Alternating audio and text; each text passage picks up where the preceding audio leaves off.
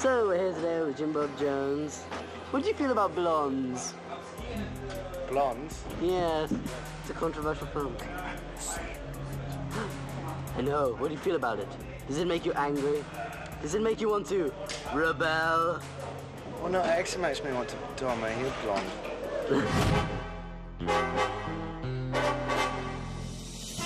I'm now in the Central Blonde Information Hub. We've got three major blondes, all with each other doing blonde things. Not sure what. I'm gonna find out. Blonde things? Talking with another blonde. Blonde. Major blonde. What is your blonde This is on blonde cam. Oh, awesome. You've been blonde cam. This is the tinted uh, number 26-7 blonde. Oh. Blondie. Blonde.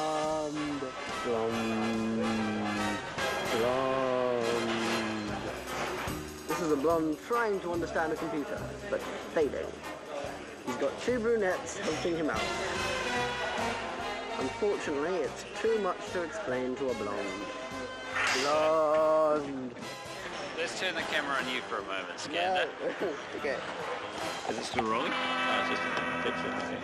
Okay. So what was your favourite part of the movie making process?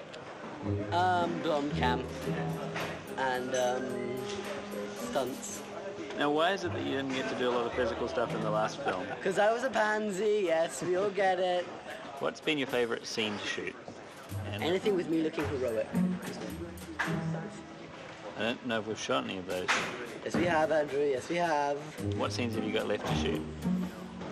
I don't know. What do I have left to shoot? Have you, at any stage during production, read the script? Once in the beginning when I first got it. That's the honest truth. Do you find that not knowing what's actually going to come next helps you to stay in the moment? Yes. Honestly, yes. I, I mean in life. In, oh, in life. Oh. Not dwelling on the past. Should we break for lunch now? Yes, we should.